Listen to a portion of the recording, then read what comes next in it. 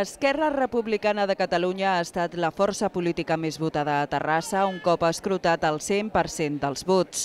Concretament, la llista del candidat al Parlament Europeu, Josep Maria Terricabres, ha rebut el 20,18% dels sufragis dels terrassencs i les terrassenques, és a dir, 14.348 ciutadans. Aquest resultat a les urnes supera amb 2,22 punts el nombre de vots obtinguts per la segona força política, el PSC, que registra un 17,96% dels vots, és a dir, rep el suport de 12.769 ciutadans de Terrassa. En el tercer i quart lloc se situen Convergència i Iniciativa per Catalunya Verds, Esquerra Unida i Alternativa.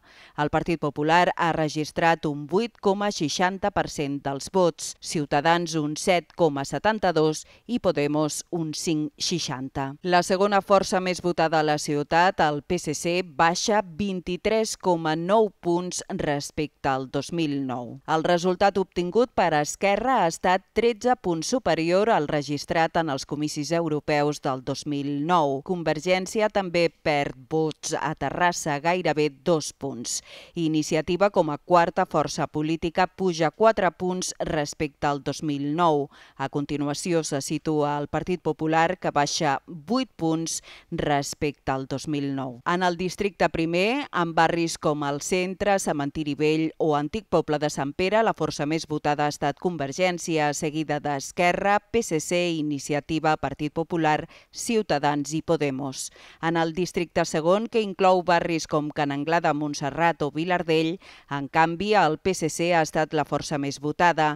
El segueixen Iniciativa, Esquerra, Ciutadans, Partit Popular, Podemos i Convergència. El districte tercer, per la seva banda, que plega els barris de la zona sud de la ciutat, també el PSC esdevé la primera força. El segon partit més votat és Esquerra, seguit de Convergència, Iniciativa, Partit Popular, Ciutadans i Podemos.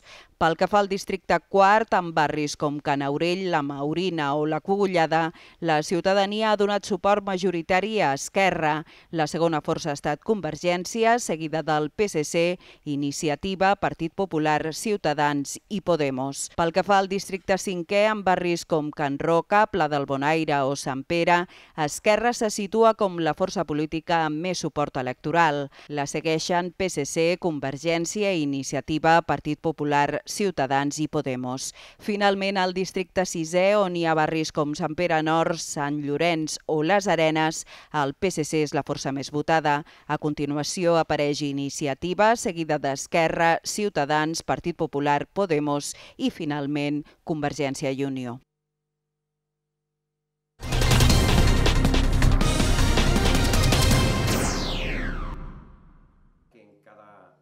El Partit dels Socialistes reconeix que ha perdut les eleccions europees a Terrassa. Assegura que ha d'aprendre a fer canvis i valoracions. Felicita a Esquerra Republicana de Catalunya que, tot i no tenir representació a l'Ajuntament, és la força més votada a la ciutat i al conjunt de Catalunya. Els socialistes creuen que l'independentisme ha estat el factor clau que ha acabat mobilitzant l'electorat i que ells no han sabut traslladar a la ciutadania el missatge d'una Europa social i de drets que volien defensar amb la seva opció política. Malgrat tot, apunten que són la segona força més votada i continuen sent la primera a tres districtes de la ciutat. Creuen també que cada cita electoral és diferent i recorden que no és la primera vegada que els socialistes perden uns comicis no municipals. Per això esperen recuperar la confiança de la ciutadania de cara a la propera contesa. Jo crec que reconeixem que Terrassa doncs, hem perdut, això jo, ho diem, hem perdut, que ens hauria que agradat tenir millors resultats, que pensaven això, però escolta, sent la segona força política, eh, a 1.500 o 1.500 vots de la primera. I jo penso que les coses s'han de mirar eh, en perspectiva. Doncs el que cal, i aquí la reflexió eh, que tenim no nosaltres, sinó tota la resta dels partits, és mobilitzar aquella part que no es mobilitza, aquella part que no, que no va a votar. No? I estem parlant de la més de la meitat dels ciutadans i les eh, ciutadanes. Els vots perduts, diuen, han anat a parar a opcions sobiranistes, a partits petits com Podemos o Ciutadans i també molts dels seus votants s'han abstingut.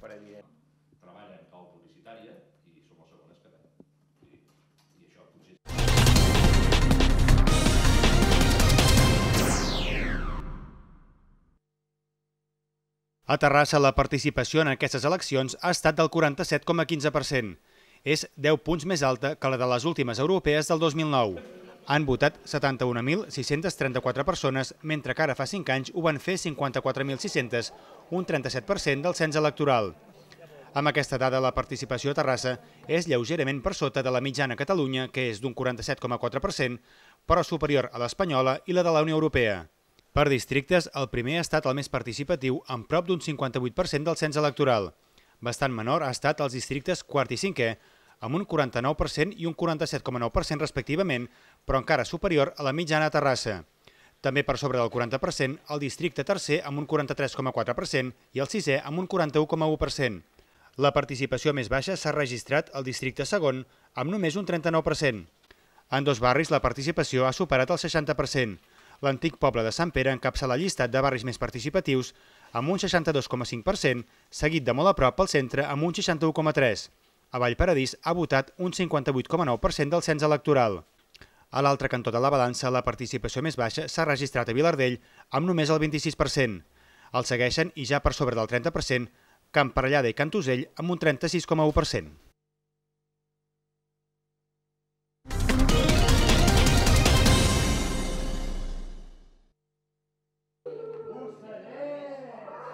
La tretzena diada de tècniques de lleure educatiu s'ha celebrat aquest dissabte amb una jornada de formació adreçada a monitors en la que han realitzat activitats d'estiu com ara colònies, casals, rutes i campaments.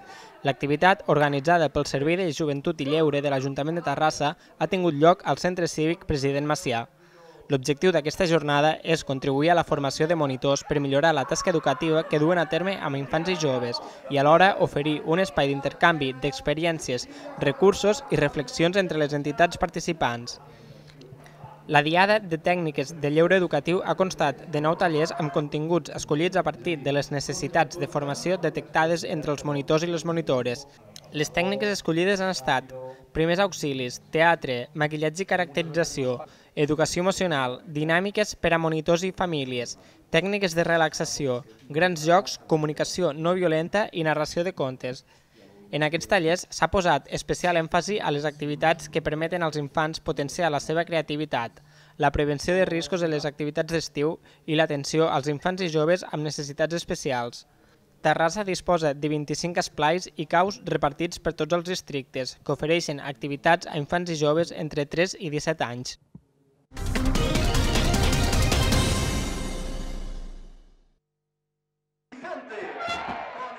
El Terrassa Futbol Club s'ha quedat fora del play-off d'ascens a la segona divisió B, després de no passar de l'empat a 0 a Linares. El gol dels andalusos en el partit d'anada ha acabat pesant molt en aquesta eliminatòria, que els de Miqui Carrillo mereixien guanyar.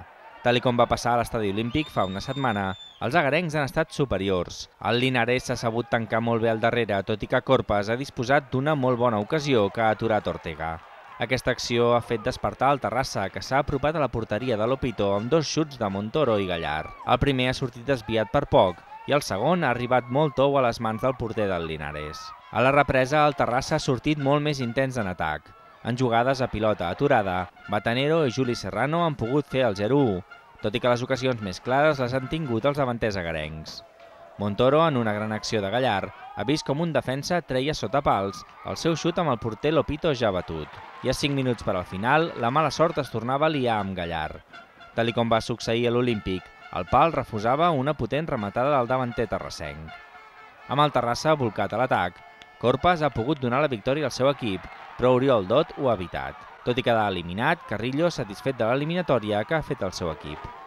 Son desgracias, ¿no? Porque el chute del palo era, era gol, o el que ha sacado de bajo palos, yo creo que era jugada muy, muy, muy clara de gol. Bueno, te ocurre, ¿no? Acaba la temporada, hay días que ganas un día, chutas con el, la oreja y metes gol, y esta vez pues, pues ha pegado el palo. Pero bueno, muy satisfecho con, con, con repito, con los, con los, dos partidos prácticamente. Yo creo que no hemos, tenido, no, no, hemos tenido ningún momento de bajón, ningún momento flojo. Hemos creo que ha competido bien todas las, dos, las 180 minutos. Hemos caído con una imagen creo que súper digna y muy buena y bueno, muy contento por ello. Toca, doncs, ja pensar en la propera temporada, on segurament hi haurà molts canvis, començant per la banqueta. El Terrassa ha estat acompanyat a Linares per una quarantena d'aficionats que s'han desplaçat amb l'autocar que ha muntat el club. També hi era el president Jesús Fernández i altres directius del club agarenc. Res a veure amb els seguidors del club andalús que es van desplaçar a l'Olímpic fa una setmana. I és que el municipal de Linarejos ha ofert un ambient al que no estem acostumats a veure als camps catalans de la tercera divisió.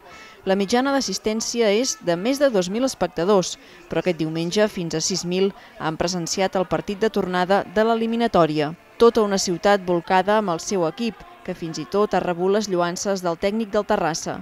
Este tiene una cosa muy importante, que es esta afición. Hemos vivido una eliminatoria preciosa. La verdad es que hubo buen ambiente en Tarrasa, aquí ha sido espectacular esto, esto, bueno, la gente me decía, no, toda semana ambiente hostil, no, no, esto no, esto no, el ambiente hostil es jugar en un campo de, con 200 personas, que esto no motiva a nadie, no, esto es, es fútbol de verdad. Aquest ha estat l'últim partit de Carrillo al Terrassa, però té molt clar que vol continuar entrenant la temporada vinent. Pasadas dos temporadas, pues tú tienes que poner una balanza, porque tienes, tienes una familia, tienes una, bueno, unos sentimientos, tienes cosas y tú tienes que decidir lo mejor para ti. Y yo hace un mes y medio pensé que, que lo mejor para mí era no seguir en el Tarrasa. Intentaré encontrar un equipo para, para poder entrenar. He aprendido muchísimo en este club, mucho de muchas cosas y eso es, un, es, una adaptación que tienes que tener y aprendes de muchas cosas y no, no, hay, no hay reproches. Lo único que es aprendizaje y, y satisfecho, ¿eh? satisfecho porque después de dos temporadas yo creo y digo que hacer un playoff en el Tarrasa no és nada fàcil. El partit ha acabat amb la comunió entre les dues aficions. A partir d'ara venen setmanes de despatxos per confeccionar la plantilla per a la temporada vinent.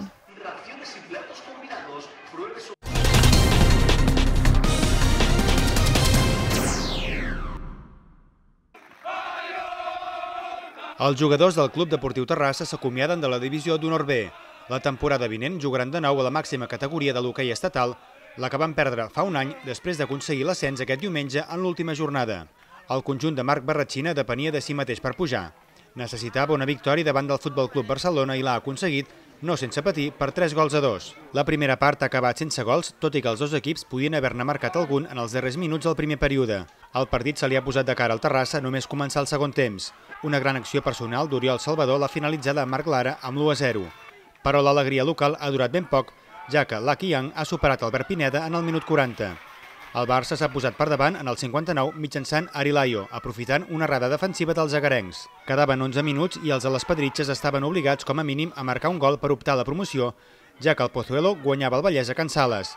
Joan Elias, de penal córner, ha donat esperances al seu equip amb el 2 a 2, però l'èxtasi final ha arribat a 3 minuts per la conclusió amb el gol d'Oriol Garreta que ha fet embogir la graderia. També sabem que no seria un partit fàcil, el Barça no havia perdut cap partit en aquesta segona fase i, i, bueno, i ho han demostrat, no? Ho han demostrat eh, girant un, un 1-0 en contra al començament de la segona part, però que aquest equip té ganes, aquest equip és molt jove, eh, és molt ambiciós i s'ha notat, s'ha notat quan, quan sabíem que el Pozuelo estava guanyant i acabàvem d'empatar i sabíem que havíem de fer el tercer, ens hem llançat de cap i amb aquesta magnífica afició tot ha estat molt més fàcil. Jo crec que era important fer un canvi de xip, ho vam dir tots a principi d'any, l'ambient de treball ha sigut immillorable, els jugadors eh, han treballat com mai i a més a més hem tingut doncs, que els juvenils que han començat a, a venir a ajudar-nos han crescut i crec que això és molt positiu pel club, aquests tenen una projecció eh, molt gran i, bueno, i amb això hem de treballar. No? Avui hem tingut el premi de tota una temporada, que ha sigut molt dura, de, tant de treball, dels jugadors per suposat, de tots els socis i aficionats de club que han recolzat pues, que així fos. Hem aconseguit eh, el que el nostre objectiu, que era tornar a la categoria màxima de hockey estatal. El títol de Lliga de la Divisió d'Honor B ha correspost al Pedralbes, mentre que el Pozuelo disputarà la promoció d'ascens contra el Taboriente.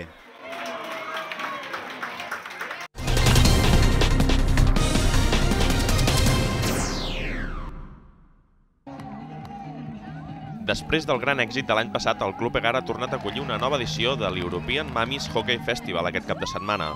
Unes jornades pensades per a dones majors de 32 anys i amb uns objectius molt clars, la diversió, l'esperit de superació i la il·lusió de jugadores que han començat a practicar aquest esport en edat adulta. El festival ha reunit fins a 27 equips diferents d'orígens tan diversos com l'Argentina, Alemanya, Bèlgica, Holanda o el Regne Unit, entre d'altres. Tampoc han faltat els catalans. L'Atlètic, l'Egara, el Polo o el Barça hi han estat presents.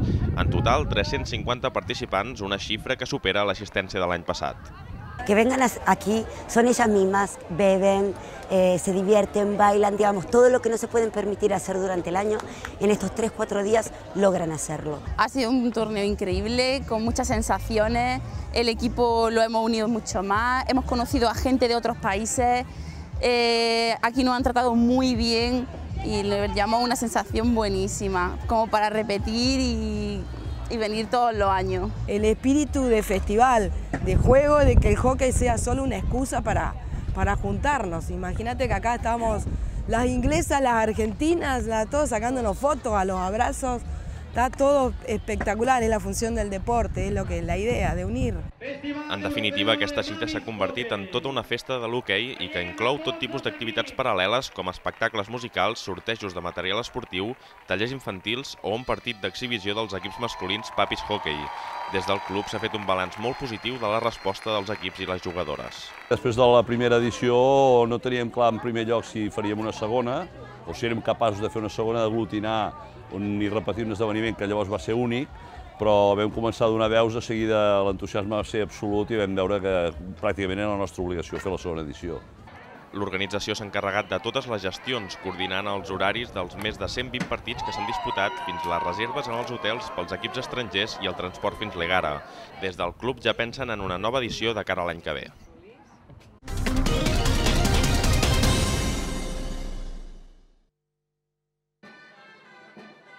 Els Minyons de Terrassa han celebrat aquest dissabte el seu 35è aniversari. Amb motiu d'aquest dia tan especial, la colla castellera ha aixecat un pilar de 4 caminat des de la Creu Gran fins a la Seu d'Ègara, que ha travessat l'històric pont de Sant Pere. D'aquesta manera, la colla Malva ha recorregut 350 metres amb un pilar que s'ha mantingut força segur en tot moment i que ha estat molt treballat pel que fa a les mesures de seguretat. El president de l'entitat, Cesc Poc, destaca la importància de l'aparició de l'entitat l'any 1979 va donar un contingut nou als castells, que és molt lúdic, molt d'oci, i una cosa fonamental, que és que fins llavors mai havien pujat les noies. I els minyons, això va ser la, normal, la normalitat, i això va fer que com a espai social doncs, fos, més, fos molt més obert, i les noies tècnicament també han ajudat a que els castells siguin més alts, perquè estan, estan igual de fortes que qualsevol noi i pesen menys. Tot seguit ha tingut lloc l'actuació castellera a la plaça Rector Oms, on els Minyons han estat acompanyats pels nens del Vendrell i la colla joves dels xiquets de Valls.